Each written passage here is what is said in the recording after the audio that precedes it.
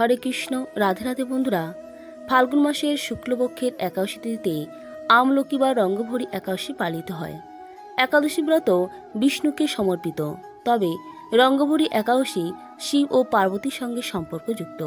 এই তিথিতে পুজো উপবাস করলে শিব, পার্বতী এবং বিষ্ণুর আশীর্বাদ পাওয়া যায়। এই একাদশী তিথি উপলক্ষে কাশীতে শিব, পার্বতীর বিশেষ পুজো হয়। কথিত আছে এই তিথিতে শিব ও পার্বতী নগর ভ্রমণে বের হন এবং তার ভক্তরা আবির দিয়ে তাদের স্বাগত জানান। এবছর রঙ্গপুরী একাদশী তথা আমলকি একাদশী কবে পালিত হবে, কখন করবেন পুজো এবং এই একাদশীর মাহাত্ম কী রয়েছে, আজ সমস্ত কিছু বিস্তারিত আলোচনা করব আজকের ভিডিওতে। আপনার প্রত্যেকের সঙ্গে থাকুন এবং শ্রবণ করুন। আমলকি বা রঙ্গপুরী একাদশী কবে পালিত হবে? বৈদিক পঞ্জিকা অনুযায়ী উনিশে মার্চ বুধবার বারোটা বাইশ মিনিটে ফাল্গুন মাসের শুক্লপক্ষের একাদশী তিথির সূচনা। কুড়ি মার্চ মাঝরাত দুটা তেইশ মিনিট পর্যন্ত এই একাদশী তিথি থাকবে। উদয়া তিথি অনুযায়ী কুড়ি মার্চ রঙ্গপুরী তথা আমলকি একাদশী পালিত হবে। রঙ্গপুরী একাদশী মাহাত্ম। প্রচলিত বিশ্বাস অনুযায়ী বিবাহের পর ফাল্গুন শুক্লপক্ষের একাদশী তিথিতে শিব পার্বতীকে প্রথমবার কাশী নিয়ে যান। সেদিন আবির মাখিয়ে শিব ও শক্তিকে স্বাগত জানান সকল ভক্তরা। তারপর থেকে প্রতি বছর ফাল্গুন মাসের রঙ্গবরী একাদশী পালিত হয়। এই দিন থেকে কাশীতে হোলি খেলা শুরু হয়। ছদিন পর্যন্ত হোলি খেলা হয় সেখানে। রঙ্গবরী একাদশী তিথিতে পুজোর সময় শিব পার্বতীকে আবির নিবেদন করা উচিত। এবার জানব আমলকি একাদশী মাহাত্ম। উল্লেখ্য রঙ্গবরী একাদশী আবার আমলকি একাদশী নামেও পরিচিত। এই তিথিতে বিষ্ণু ও আমলকি গাছের পূজা করা হয়।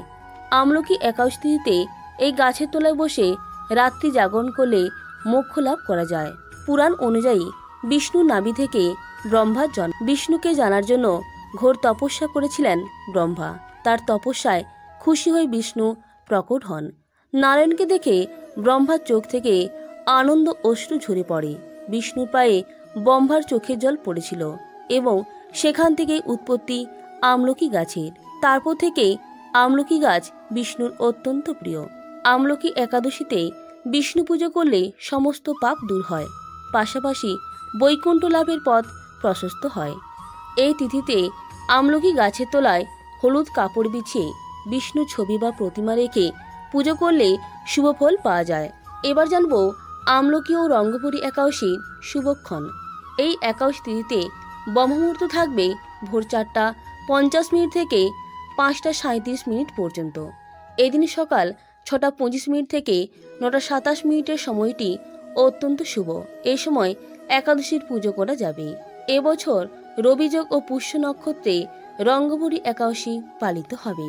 সকাল ছটা পঁচিশ মিনিট থেকে রাত দশটা আটত্রিশ মিনিট পর্যন্ত এই যোগ থাকবে। অন্যদিকে, পুষ্য নক্ষত্র থাকবে সকাল দশটা আটত্রিশ মিনিট পর্যন্ত। তারপর অশ্লেষা নক্ষত্রের সূচনা। বন্ধুরা, হিন্দু ধর্মে একটি গাছের পূজা ঈশ্বরের প্রতি একজন ভক্তের বিশুদ্ধ প্রেমের দেবত্বের প্রতীক। একটি কিংবদন্তি অনুসারে, রাজা চিত্রসেন এবং তার প্রজারা আমলকি একাশী ব্রত অনুসরণ করেছিলেন।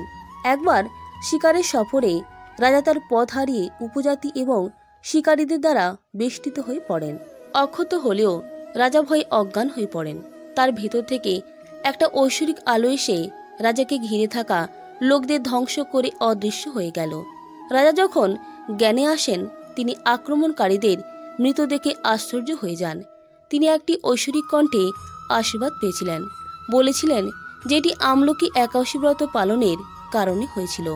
তারপর থেকে রাজ্যের প্রত্যেকেই উপবাসের পদ্ধতি অনুসরণ করে থাকেন। ব্রহ্মাণ্ড পুরাণের অন্য একটি কিংবদন্তিতে ঋষি বশিষ্ঠ বর্ণনা করেছেন যে বৈদিশার রাজা চৈত্রত এবং তার প্রজারা এই দিনে ভগবান বিষ্ণু এবং একটি নদীর তীরে একটি আমলকি গাছের পূজা করেছিলেন।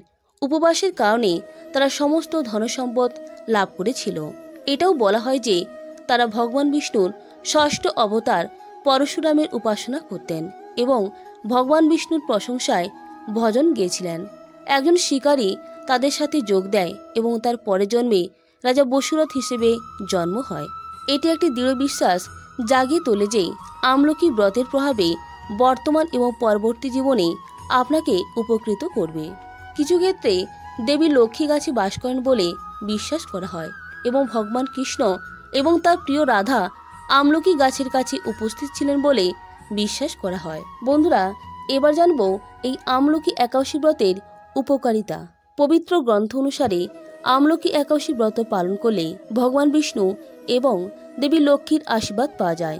প্রচুর স্বাস্থ্য, সম্পদ এবং সমৃদ্ধি অর্জন হয়। ভিটামিন সি বাড়ি থাকে কারণ আমলকি গাছের একটি সমৃদ্ধ উৎস হিসেবে ঔষধিভাবে তাৎপর্যপূর্ণ। আমলকি একাদশী ব্রত পালন ব্রাহ্মণকে একশোটি গরুদান করার চেয়ে বেশি শুদ্ধ বলে মনে করা হয়। পাপ থেকে মুক্তি এবং বিষ্ণুর আবাসের স্থান মৃত্যুর পরে বৈকুণ্ঠ লাভ হয়। বন্ধুরা, একাদশী হিন্দুদের মধ্যে মহান ধর্মীয় ও আধ্যাত্মিক তাৎপর্যপূর্ণ একটি দিন। এটি ভগবান বিষ্ণুর উপাসনার জন্য নিবেদিত।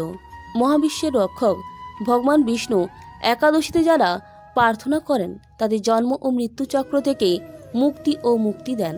বন্ধুরা, এই ছিল আজকের ভিডিওর মূল আলোচ্য বিষয়বস্তু। প্রত্যেকে ভালো থাকবেন, সুস্থ থাকবেন। নমস্কার, ধন্যবাদ। ঈশ্বর আপনার মঙ্গল করুক।